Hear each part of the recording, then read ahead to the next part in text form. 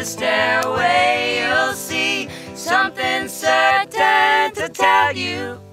Confusion has its cost. My memories of festivals growing up, I really wanted to go to so many. I grew up near Glastonbury, watching it on TV every year. Um, and then when I was 18, I got booked to play.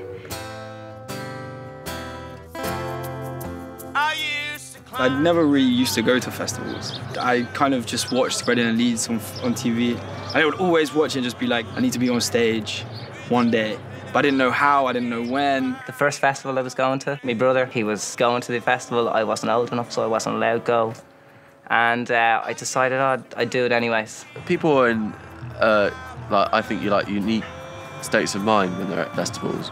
When you do a show in a city, like you always get a, a, slight feel that this is just a part of their day. But at a festival, you know, they're totally free, you know? You've got a crowd at festivals who are all ready for the kind of to have a relationship with the band really and there to be a connection and ready to lose their inhibitions.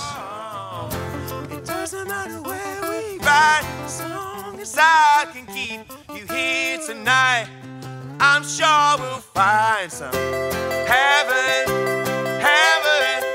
wherever we hide away. Heaven, heaven, wherever our bodies lay. It's even in our darkest night, love will be sure to find. Heaven, heaven, wherever we hide away. Thank you, Barn on the Farm.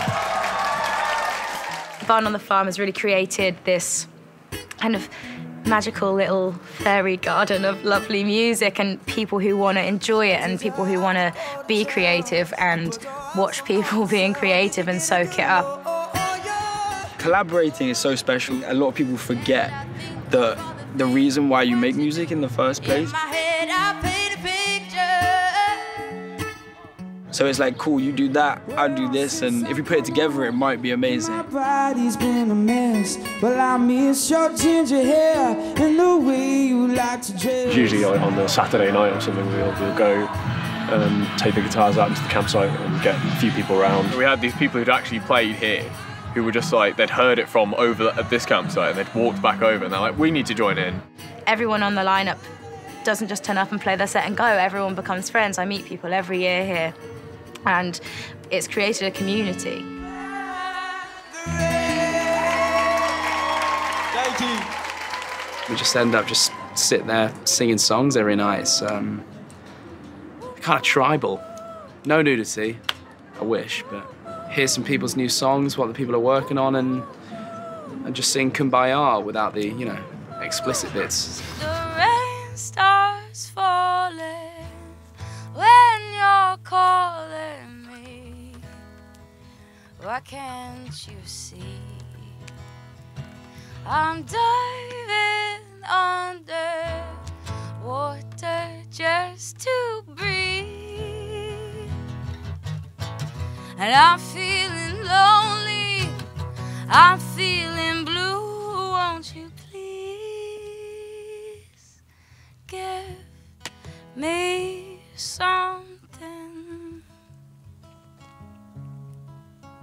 Cause I don't believe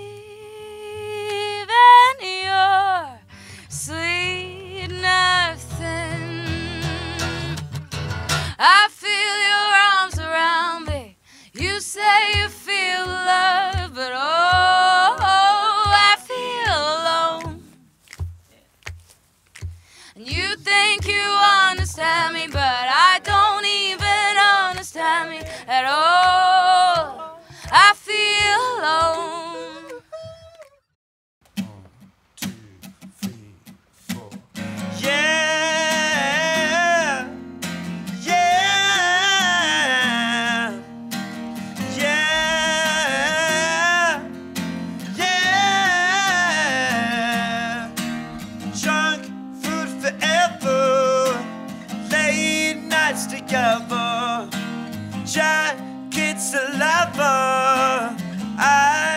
We've played some amazing shows here. There's an opportunity to make it your own, which which is something that I feel like I've been able to do. And we've just sort of formed this big family. We, we formed a funny friendship group that come every year, and we come back together, and it's like like we've never been apart. It's really lovely. I applied for volunteering. I was 16 when I first started. Now I manage all the dressing rooms, manage the artists in the dressing rooms. None of us are professionals in what we do. It's literally just friends on a farm. Because you invited me the first year and I had no idea who any of these people were. and then I show up and I'm, I'm in love with every single person who played. They seem to be really open-minded with music and stuff. I think it's just a festival that stays true, true to its roots and still expands and still puts on great acts. What I really liked about it was the support of new artists, and there's not many festivals that take that sort of punt on new artists. It's a real honour to be headlining Barn the Farm tonight, and particularly when it's like an evening like this, it's, it's beautiful.